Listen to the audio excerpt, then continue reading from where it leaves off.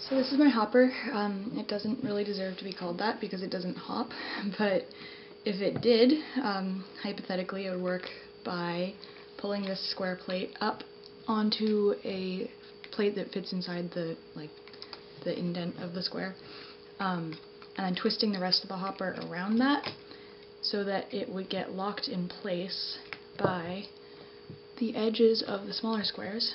Um, and then as this trigger mechanism here, um, which is basically rubber tubing connecting two plates, wanting to make them go back parallel whenever you turn them. Um, that trigger would turn it back parallel slowly, and um, this square plate would then be able to move downward from its locked position and slam against this circular plate here. Um, and then by doing that, uh, the hopper would originally be oriented like this.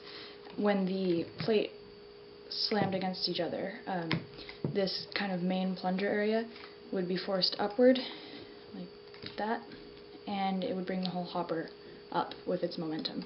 Um, now it doesn't really do that, and one of the main reasons that I think it doesn't do that is because the trigger doesn't work as it was intended to work, because I can't move this plate um, against the other plate and rotate it, since these rubber tubes here um, really do not want the thing to rotate because there's so much tension in them that they just want to stay perpendicular as much as possible.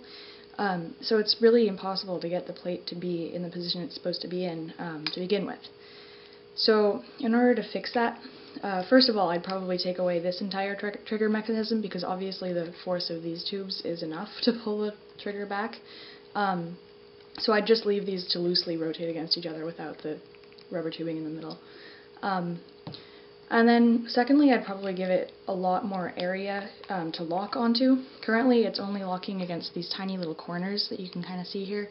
Um, they're really small, and it would be pretty quick for it to unlock from them. So I would need to make it so it rotates like almost half of a circle um, in order to kind of lock it in place, and it would slowly be able to rotate back over, and then the trigger would activate, rather than activating in a matter of you know a fraction of a second, and then my hand's still there and it won't hop because I'm blocking it, obviously.